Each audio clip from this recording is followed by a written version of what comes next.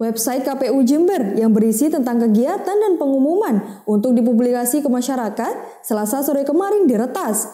Akibatnya hari Selasa ini website tidak bisa dibuka lagi setelah sebelumnya tampilan berubah gambar dan kata kotor dengan latar belakang empat remaja berfoto.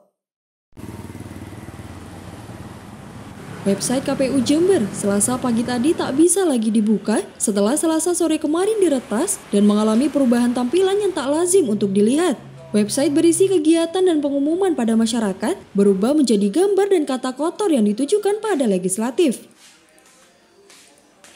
Bahkan pada tampilan sebelum error, latar belakang gambar dan kata kotor, terdapat empat remaja yang sedang berfoto dengan nuansa klasik hitam putih, serta terdapat identitas hacker, yakni hack baking so apres underscore H7 di bawahnya.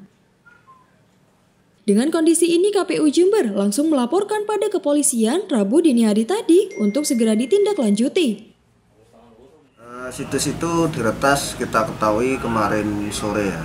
Kita sudah ketahui terus kita sudah e, mengupayakan untuk membenahi situs yang diretas itu.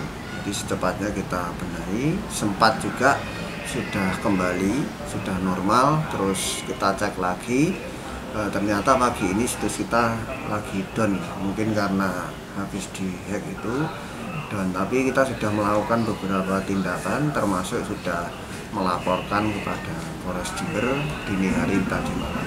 Ya yang pasti web yang kita gunakan ini kan kita uh, gunakan untuk publikasi ya, terutama publikasi terkait dengan kegiatan-kegiatan KPU.